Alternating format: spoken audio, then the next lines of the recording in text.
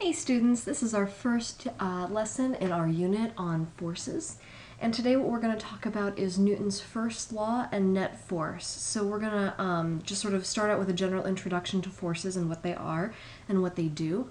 We'll talk about different types of forces that are out there and how to represent them in something called a free body diagram.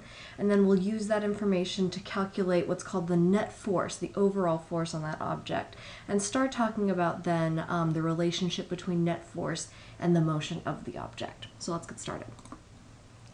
So first of all, the basic definition of a force that we can kind of work with is that it's a push or a pull.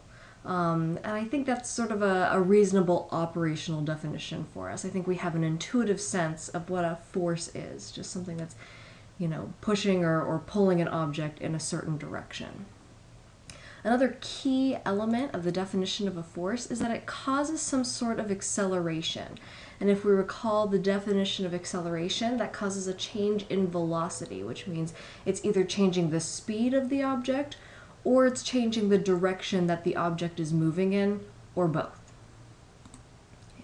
Now there are two main ways that forces can be exerted upon an object.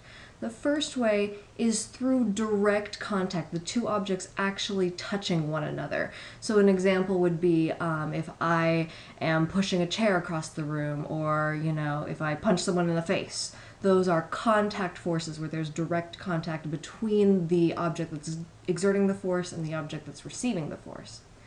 And this is sort of an obvious one, but then um, there's another one that's a little bit less obvious, and that's something called a field force. And that's a force that's exerted without any sort of direct touching between the two um, the two things that are exerting the force and receiving the force. An example of this would be gravity. Obviously, there's no like physical thing, gravity, that's like grabbing onto you and pulling you down towards the earth, and yet you feel a pull down towards the earth anyway. Um, sort of called spooky action at a distance. So. Um, gravity would be an example of a field force then. It's not that you actually have to be in physical contact with the Earth in order to feel it. It can travel through space. Um, is a vector quantity, which means that the direction of the force matters. There's a big difference between being pulled downward and pushed upward. That causes different changes in the motion. And then our unit that we measure force in is something called a Newton, which we represent with a capital N. And just to kind of put newtons in terms of units that we're already familiar with, one newton is equal to one kilogram uh, being uh, accelerated at one meter per second squared. Okay, so that's our, our basic um, equivalent of what a newton actually is to give a little bit of context. So let's start talking about something called free body diagrams. And basically those are just pictures that show us all the different forces that are acting on an object at one time. Now there are five main types of forces that you want to be checking for when you're drawing your free body diagram to make sure that you include all of them. First one is weight. And that's one we're all familiar with. That's going to be a downward force due to gravity. We represent weight with a, a capital F with a little subscript g. Another force that will usually be pretty apparent from the problem is an applied force, and that's just any sort of force that um, is being exerted upon the object directly. So if I'm pushing a chair or, um, you know, something like that, where, where it's going to be, um, you know, a, a, conscious effort on the part of someone or something. The next one is normal force, and, and this one is uh, a little bit a little bit more subtle, I guess. So um, the normal force is going to be a pushing force that's perpendicular to some surface. Now, um, the the form of normal force that we end up seeing most often is this. When you are standing on the, the floor of, of the seventh story in this building, um, gravity is, is pulling down on you. Gravity doesn't turn off and yet somehow you're not falling through the floor and plummeting down to the center of the earth. And the reason for that is because there's a force exerted on you that's opposite gravity, that's holding you up. you can kind of think of it as the, the floor is holding you up against gravity, preventing you from falling down through, you know, and, and onto the center of the earth. That would be called the normal force. It's going to be this pushing force upward. It's sort of like shooting out of the ground, holding you up. Now, a key thing to note is that this force is always going to be perfectly perpendicular to the surface that you're standing on or our other object is, is resting on. So we've got this, this force of a, a surface holding up an object, it's sticking straight out of that surface. Our next type of force is a tension force, and that's going to be some sort of pulling force. Um, examples would be like hanging by a string or like pulling on a spring, things like that. And our last type of force that we'll talk about is friction. And that's going to be a force that opposes motion between two surfaces, opposes two surfaces rubbing against each other. Um, and so that's always going to be parallel to those surfaces. And oftentimes, um, friction then is, is going to oppose um, an applied force, but really it could oppose any sort of force that's going to cause two, um, two surfaces to, to rub together. As soon as we've got um, some other force that's trying to, to push those two, um, you know, to, to rub and slide against each other, friction immediately shows up to try to oppose that force and oppose that motion. So let's consider some examples of free body diagrams now that I've told you all the different things that could be in them. So first we'll consider a, a, pendulum, so some sort of object that's, that's hanging from a string and, and swinging back and forth. So we've got two main forces that are, are being exerted on our pendulum bob. Okay. The first one is gravity. And it exerts this downward force on the string because gravity pulls things down. So then I would take the, the weight in my pendulum and then just draw an arrow downward to indicate that the force of gravity is, is being pulled down. And then I'll just label that arrow F with a little g to indicate that that's my gravitational force or my weight acting on the object. Now this isn't the only force acting on the object or else it would go plummeting downward. There's also a tension force holding it up that's, that's provided by the string. Okay, so then I'll, I'll, also draw an arrow going up and label it Ft to indicate that we've got this tension force from the spring holding it up. There's another example. Imagine a, a, book sitting on a table. Hopefully this is not something that's new and foreign to you guys. All right. So um, once again, we've got two forces that are, are acting on this book. First one, gravity. Gravity is just about always going to be in everything. So we've got gravity exerting a downward force on the book, pulling it downward, but what's holding it up is that normal force exerted by the table. So the table is that surface that the book is resting on. It's holding it up, preventing it from falling to the ground. So we know that the table is exerting this normal force to hold it up. That that arrow then is, is pointing upward and it's, whoop, excuse me, straight out of that surface. So we see that the table is, is perfectly horizontal, which means that the normal force is going to be perfectly perpendicular to that and, and perfectly vertical. Okay, last one. So um, if I've got a rolly chair and I'm pushing it towards the left, this one's got a few more forces involved, right? So again, gravity, because gravity is pretty much always there. So gravity exerts this downward force, which I'll label Fg. Holding up the chair, preventing it from, you know, crashing down to the center of the earth, is a normal force exerted by the floor to hold up the chair. And then since I'm pushing the chair towards the left, that means that I'm exerting an applied force that's directed towards the left. But then um, as soon as I do that, my applied force would cause there to be this um, this uh, rubbing motion between the wheels on the chair and the ground, and friction immediately jumps in and says, uh, we don't like that. So that means that as soon as I start pushing, there's a friction force then that opposes that pushing and um, exerts a force in the opposite direction towards the right. Okay, so those are a few examples of some different free body diagrams. Now, the next question you should probably ask yourself is why would we do this? Why do I want to draw a free body diagram? Um, and it's not just to draw pretty pictures. We actually have great use that we can get out of free body diagrams in that it allows us to calculate something called the net force on an object. And what net force means is it's the overall force on the object. So if I look at all the different forces acting on it, what's left in the end? What's the overall push or pull on the object? How much and in what direction? Now, here's a key idea that I want you to take note of.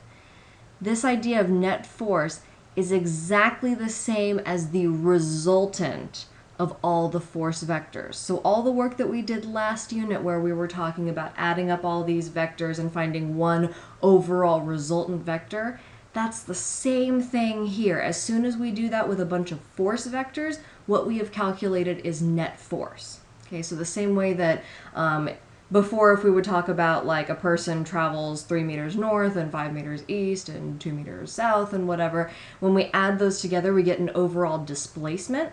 In this situation, if we add up all these different forces, so 5 newtons to the north and 3 newtons to the west and, and whatnot, what we're calculating is the net force, the overall force on the object. Okay, so let's consider that a little bit. So first uh, question to consider, what's the net force on a kitten that's being pushed with 6 newtons to the east and 2 newtons to the west? So the first thing I'm going to do, even though this is a, a pretty simple problem, is I'm going to draw my free body diagram to identify all the forces acting on my object and which way that they're going. So here's my kitten. I've got um, one force vector to the right of 6 newtons and one force vector to the left of 2 newtons. And this makes it very clear then that, that since they're both going in the x direction, all I have to do is um, add everything going to the right, subtract everything going to the left. And I've got an overall net force of 4 newtons directed to the east. Another sample problem to consider. So now we've got a puppy, and it's being pushed with 4 newtons to the west and 3 newtons to the north. So again, I'm going to start by drawing that free body diagram to see all the different forces that are being exerted on my object. So we've got our 4 newtons to the west, 3 newtons to the north. By doing this, I can see I've got one vector in the x direction and one vector in the y direction, so I can't just add them together. I've got to, got to make a triangle in order to do this. All right, so I will redraw the vectors head to tail, and then um, draw a triangle and figure out both the length and the direction of that hypotenuse, that resultant vector that results from those two sides. And if I do that, and if you do that, what we'll find is that there's an overall net force of 5 newtons directed um, at 36.9 degrees north of west, which is the same as 53.1 degrees west of north. Same thing. So the next question then is why would I want to calculate net force? So that's the reason to, to draw free body diagrams, but then why does net force matter? Um, and here's the thing, net force determines how the object's going to move. Like that net force is the impetus for all the changes in that object's motion. Anytime an object is moving, it's because there there was some sort of net force applied to it at some point, which is pretty cool. Okay. Now, um, this brings us to Newton's first law, which you've probably heard at some point in your life. Um, Newton's first law says that an object's state of motion, and that's just a fancy term for velocity, the velocity, the speed and direction of an object, will not change unless it's acted upon by a non-zero net force. Okay, so that means that um, if an object is just sitting there, there better be some overall push or pull on it in order for it to start moving, which makes sense. But this also means that if an object is moving at a certain velocity, say 5 meters per second to the east, it's going to keep on moving at that same velocity of 5 meters per second to the east unless there's some sort of overall unbalanced push or pull on it to cause it to change that motion.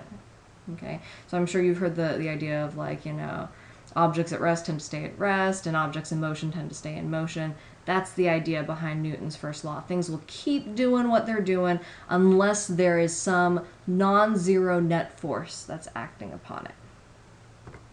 Now we have a, a special term for when the net force on an object is zero, which is to say that all the, the forces perfectly balance out. So if I've got a pull of, of 3 newtons to the right, then we must also have a pull of 3 newtons to the left. Or if we have a pull of 5 newtons to the north, we better have um, a pull of 5 newtons to the south as well. So if all those different force uh, vectors are balanced and we, we've got an overall net force of zero, we call that state equilibrium. Okay, and just to drive this point home once again, if an object is in equilibrium, which is to say that there's no net force on it, it's either going to be at rest, not moving, or it could be moving at constant velocity. You, some of you guys are going to fight me on this. Some of you are going to say if an object is moving, there must be some sort of net force on it. That's not true. If it is moving at a constant velocity, there is no net force on it. Because remember, forces cause an acceleration. So if an object isn't accelerating, there's no net force on it. Right. So um, our special term for that condition is equilibrium. Okay, everything's balanced out. Now, the reason for all of, of this, the reason that objects will keep doing what they're doing, is that we have this, um, this inherent uh, quality in all matter that it will uh, tend to resist changes in motion. It's like us. If we're lying in bed, we tend to resist getting out of bed because we like just staying where we are. Now, this property is called inertia. Now, if you do a quick thought experiment and think about, okay, which would be um, easier to change the motion of a freight train or a butterfly, we can pretty quickly see then that the amount of inertia that an object has is dependent upon its mass. So the, the more massive, the heavier an object is, the harder it is to either get it to start moving or stop it from moving. So like imagine just holding out your hand to stop a freight train. Um, compare that to something with less mass, like a butterfly, pretty easy to stop. So when we think about mass, we can think of it as um, the amount of matter in an object, but we can also think of mass as a measure of the amount of inertia something has. Kind of a cool way to think about it. Okay. So all that is to say, um, then if there's a, a non-zero net force, so we consider the, the zero net force option, if there's a non-zero net force on an object, that means it has to accelerate, no exceptions. Okay, so if my forces acting on my object based on my free body diagram do not all cancel out based on their, their directions that they're going in, um, that object's going to accelerate in whatever direction that overall force is, whatever's left over once I've, I've tried to cancel out all my vectors, it's going to accelerate in that direction. Okay, so let's consider a, a few examples. So, um, book, sitting on the table. What's the net force that's being exerted on it? I hope that you can, can see that the net force on that book is going to have to be zero because it's not moving. So that means that there's no overall force on it. Everything's balanced out, the gravitational force and the normal force exerted upward. They perfectly cancel each other out so that the net force on the book is zero. It's just sitting there. Okay. How about um, a hockey puck that's hockey puck, hockey puck that's uh, sliding on the ice at a constant velocity of five meters per second to the east? Now this one, some of you are going to be thrown off, but don't be deceived. The key word there was constant velocity. It's not accelerating, so that means that there's a net force of zero on that puck. Now it's true, at some point, some force must have been exerted on it to get it to start moving at that velocity of 5 meters per second to the east. But now that it's just moving at that constant velocity, that means all the forces acting on it are perfectly balanced out right now. Okay. Next question. So we've got an object at the right. I've drawn a, a, little free body diagram for it. We want to figure out what's the net force that's being exerted upon it. And again, we'll use our little vector addition skills, although this one's pretty simple since everything's in the y direction. We see that the overall unbalanced net force on this object is 2 newtons to the north. Okay, because we've got 5 up, 3 down, so overall we're left with 2, two newtons that have been um, unbalanced directed towards the north. And just for funsies, tell me then, if this object is currently moving south, and then we apply these two forces, what's going to happen to its motion? So take a, a little bit and just think about that. We've got a net force directed to the north. The object was moving to the south. What's going to happen to it? Now what we can conclude is the object accelerates in the direction of the net force. So since the net force is directed to the north, that means the object is going to accelerate towards the north.